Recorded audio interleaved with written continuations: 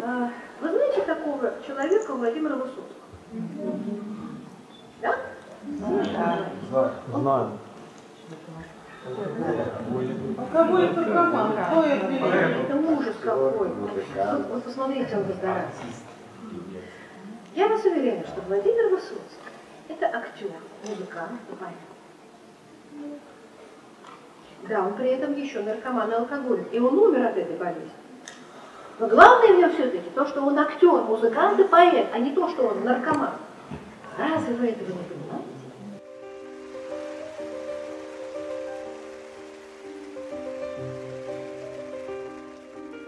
Я пьяный упал в яму строящейся теплотрассы.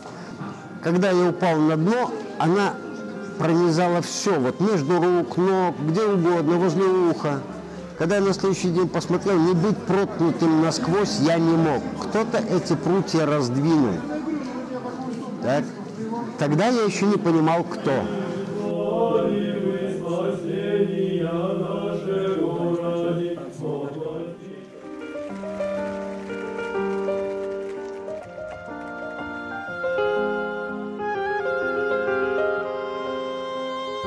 Наверное, вообще проблема алкоголиков, что мы не можем признаться себе в своих эмоциях и не можем... То есть мы боимся и пытаемся построить жизнь под себя, а не принять жизнь и жить полноценно. Я понял, что я сам справиться не могу. И мне пришлось признать, именно пришлось, это точно, точное слово, что мне пришлось просить Бога помочь.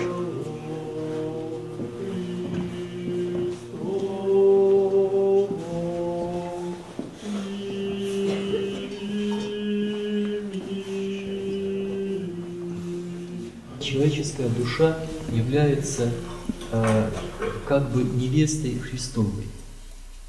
Невеста, которая должна очиститься, приготовить себя э, к вечному э, браку э, с небесным женихом.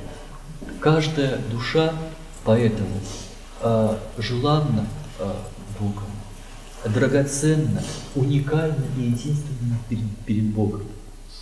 И наша с вами задача в этой жизни подготовиться вот э, к этой встрече. Привет мне, оскверненный делами непристойными, я, несчастный, недостоин Христе причащения Твоего пречистого тела и божественной крови, удостой меня его.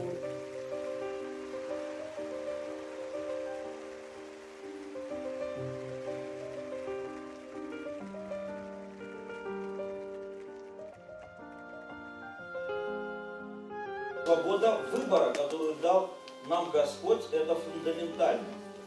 Независимость любая, и зависимость в том числе, как обратная сторона, это лишение этого выбора. И выхода нет. Выход всегда есть, как у Ежи Станислава Леца это звучало так. Где выхода нет выхода? Выход там, где вход. Вот так образно. И всегда есть выход, который нам не нравится, который мы его не принимаем, и мы идем к привычным стереотипам.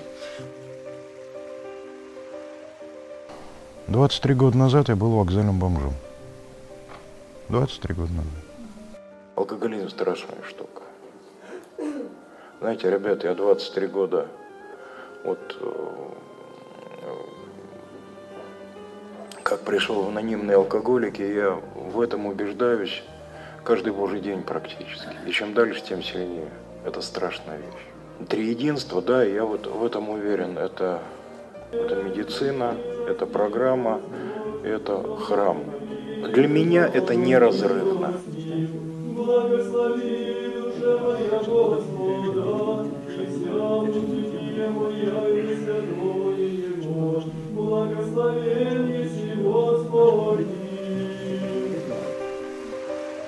Созависимость – это такой болезненный способ вести себя, когда в семье появляется наркоман или алкоголик, когда кто-то из членов семьи заболевает, то вся семья подстраивается к этому. Как меня зовут? Я созависимый. Мой отец и мой брат. Э, Я бессилен помочь им. Если буду пытаться спасти, я сам себя погублю только. Я сам готов, я просто заработал себе мигрень, э, его себе заработал, нервную систему разрушу, верхние почки там уже посажу, может быть. У меня есть э, любимый сериал разнобойный. У меня меня есть э, любимый храм, молитва любимая.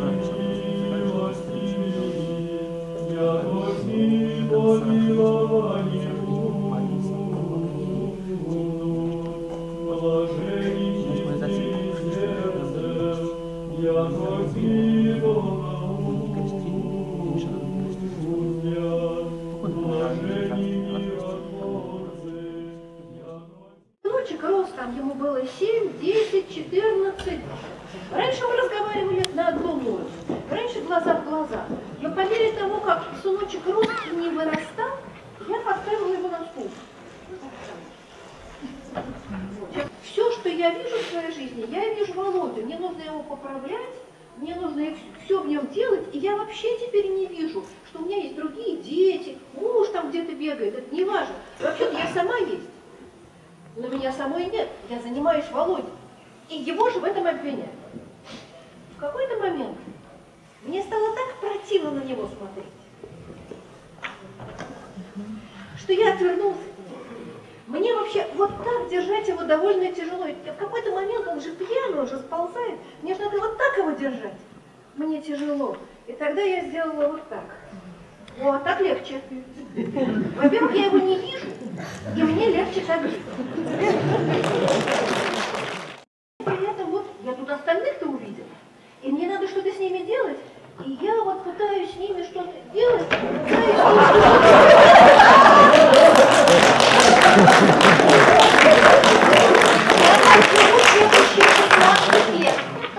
Как вы думаете, он... Как вы думаете, он может выздоравливать сейчас? Как вы думаете, я здоровый человек сейчас? Как вы думаете, что я могу сделать, чтобы изменить ситуацию? Кинуть Ой, кинуть не жалко. Я же ему 16 лет на спине ношу. Что мне сделать надо? Поставить. Поставить надо. Вот я его так аккуратненько, любя. Ой, знаете, как жить хорошо стало. Ух, дышать не нужно. Вот сейчас Володя абсолютно свободен. Он может повернуться вокруг своей оси и пойти в анонимный алкоголь.